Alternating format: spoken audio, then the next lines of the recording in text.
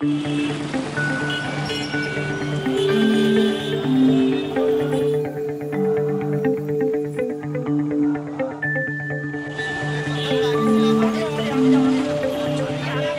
की वजह से सबसे ज़्यादा संकट जो है, ये एक आम जनता को ही झेलना पड़ रहा है।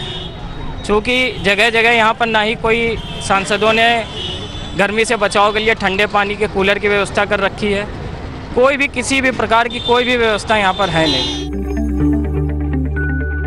सुना था शिमला में ठंड होगा पर उतना ठंड तो नहीं है।